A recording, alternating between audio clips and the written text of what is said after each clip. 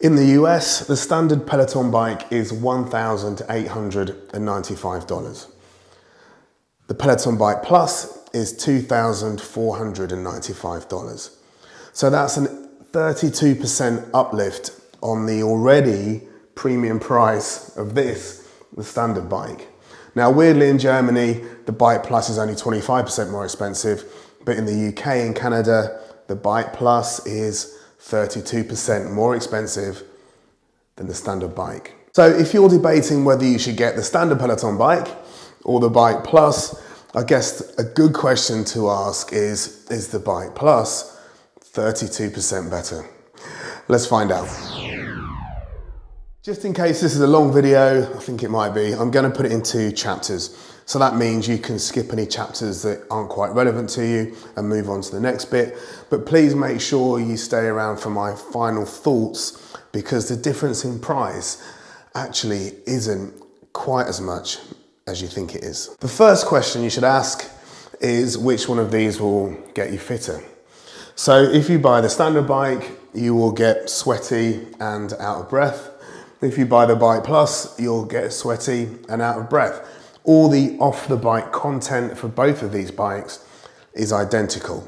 So as long as you follow the guidance and the instructor in the workouts, you will get equally as fit with either bike. Next is screen rotation.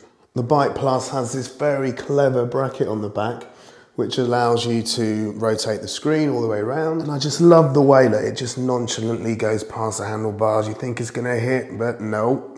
And this is a really good feature of the Bike Plus. So if you're looking to do strength workout or yoga at the end of the bike, rather than having to do it with the bike in the way, which you do really with the, um, the standard bike, you've got to get right behind it and then you can't really see the screen because the bike's there.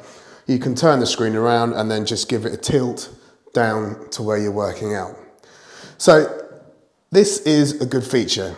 I don't use this feature. The only time I rotate this screen is for filming videos. It, it just sits in its normal position otherwise. The Bike Plus screen is much better than say an iPad or a phone. However, it's nowhere near as good as a large TV.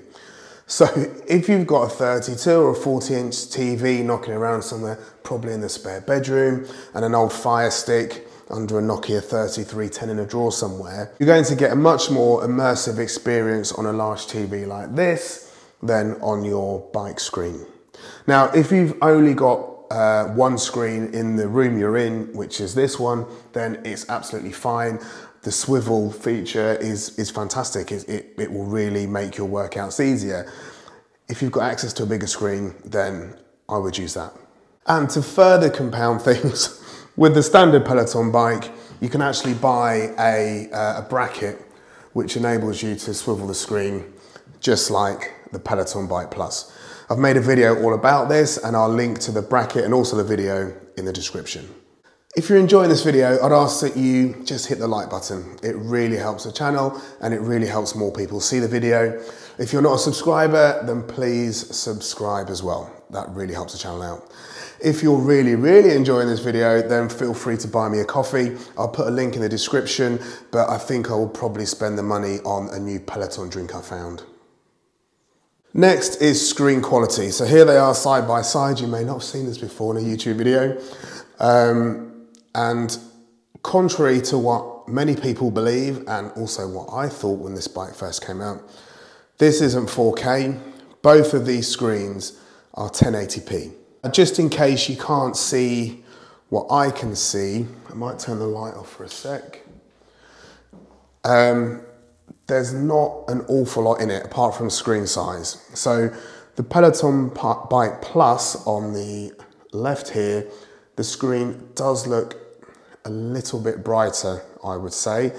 Um, however, the image quality is about the same between the two. So this bike does have an anti-glare coating and it shouldn't um, get smudged as easily. However, I'm sure it's there, but I haven't really noticed it. If we look at the screen size as well, obviously this one is bigger, the only reason why this one is higher is because it's got the swivel bracket on it. Um, But when, when I, I use this, so 300 rides on this bike, the standard bike, there wasn't a day that I thought this screen was too small. It always felt fine.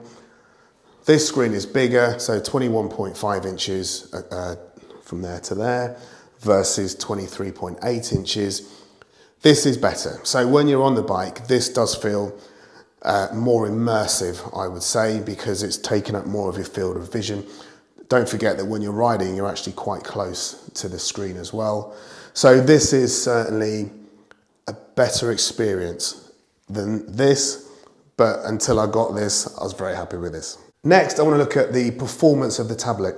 So these are just Android tablets. Uh, the Peloton Bike Plus has twice the RAM and a faster processor, supposedly quite a bit faster. Now, Peloton have said this is for future proofing, which I'm sure is right. But there's the consideration I would make is this device isn't a high-end PC. Neither of these are high-end PCs. Their sole purposes, the sole purpose, unless something changes, is to stream Peloton video content. So does the extra RAM and uh, processor performance really make much of a difference? After all, we are not mining for Bitcoin here, are we? In this test, I'm going to work, I'm down here. I'm down here on the floor. so I'm gonna see how quickly they open up a workout. Here's the bike plus, here's the bike. So I'm gonna go for a scenic ride. I'm gonna press more. Well, that was the same, wasn't it? Okay, let's just view the routes. Slightly more lag there, but not much at all really. Let's look at this ride. A bit slower there. And let's start this ride. Oh, I didn't press them at the right time. Let's try again, hang on, let's start. One, two, three. So a noticeable difference on this. This is slow, isn't it? This one hasn't even come on yet. There we are. But when you're in the ride, they are the same. Once you're up and running, you're not going to see a difference. Let's see about starting classes. So that's quite quick from both. And the skip session. Let's hit start, trying to get the same time, coordinate. So when it comes to sound, this one is not very good. So the speakers on this, they're okay. They're okay at best. The speaker system on this, you've got a speaker across the top, you've got a woofer in the back as well, is a lot better, a lot, lot better. It's still not a Sonos, but it is a lot better. The other difference is connectivity. So this is Bluetooth 4.0 and this is Bluetooth 5.0. Sorry. So when you've got your AirPods in, uh, you can't tell the difference. Uh, if you walk a long way away from this one, like a long way, it still works. This one doesn't work as well. But so for day-to-day -day use, you will not notice a difference. What you will notice though, so we're an Apple family, so we wear um, AirPods and AirPod Pros. Um, if you've got your AirPods on here, 10 out of 10 volume will probably be too loud. It does get quite loud on here. However, this is like a bit old school Android when they didn't like talking to each other, like they like in-laws or something. So they got along, they would stay in the same room together, but it wasn't as smooth as it could be. So if you have Apple AirPods or AirPod Pros on this, the original Peloton bike, 10 out of 10 volume is a bit like 6 out, 6 out of 10 volume. It's just not quite loud enough. All my other headphones, I've got some Bose, they're fine. Some other, other headphones, they're fine. It's just Apple headphones, in my experience, do not play that well with the original bike. Another upgrade is a video chat. I'm gonna do this bit quickly because I don't think, I don't know anyone that uses this. So when you're in a ride, if you're in a ride with a friend or something like that, and they're in their house, you're in your house, you can video chat them. So you press the camera icon and you can see them in the corner. They're just covered in sweat and they're out of breath and so are you. No one looks great, you're all chins. So this has got a better camera and microphone setup for video chats. Uh, it is a lot better than this one.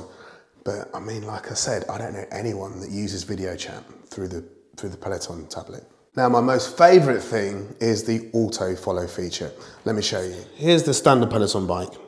And as you can see, this is very easy to turn, very easy.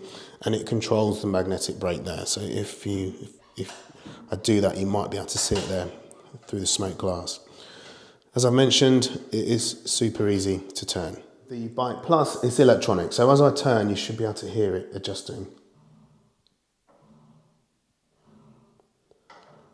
So this is an electronic adjustment instead of a manual one, just as easy to turn. With auto follow, you can see here that the instructor has called a range. You can see this on both bikes uh, here, 47 to 67.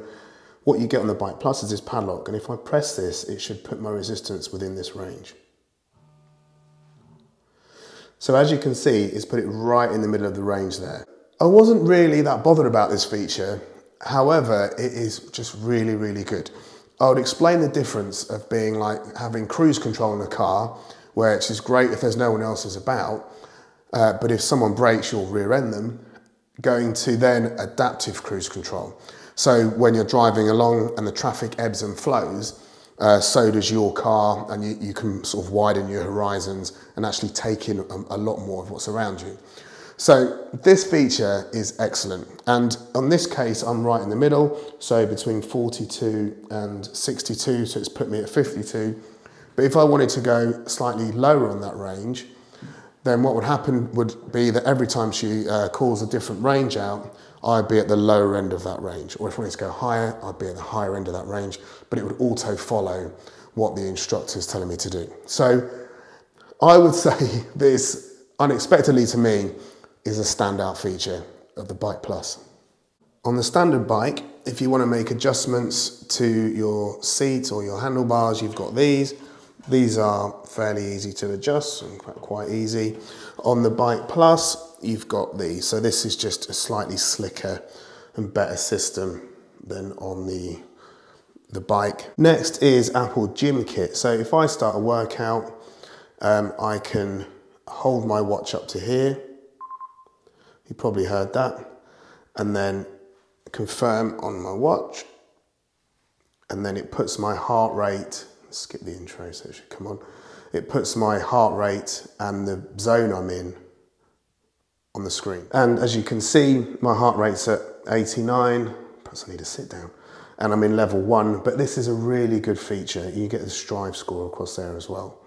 And you can do this with the standard bike as well, which a lot of people don't realize. There's a couple of apps you can use, um, which uh, you might have to watch an advert unless you pay for the premium one and some people have said connectivity is sometimes an issue. I don't like wearing a heart rate monitor or here or here. I've got a really good monitor here, so I just want to use this. I use uh, WatchLink, which is a fantastic product. And in my home gym, that just sits here under the speaker. You can just about see it there. And when I walk into the gym, I just press the complication on my watch, start a stationary cycle, and then it links from here to the WatchLink to the bike. There's my heart rate on the watch and it's matching there what's on the bike. So essentially the same thing. It's really reliable. I've used it for a while now. I'm really pleased with it. And unlike the Apple Watch integration, if you're doing a bootcamp class, so where you might be half on the cycle and half off um, weight training, um, it works still. Whereas Apple, uh, the Apple integration doesn't work for some reason. i have made a video about this. I'll put it in the description and link you to it and also the WatchLink if you're going to go for the standard bike but want to use your Apple Watch as a heart rate monitor. When it comes to build quality, they're both just excellent, really, really good. There's some design changes, so you can see the Peloton logo on here is different to the Peloton logo on there. That looks a bit slicker.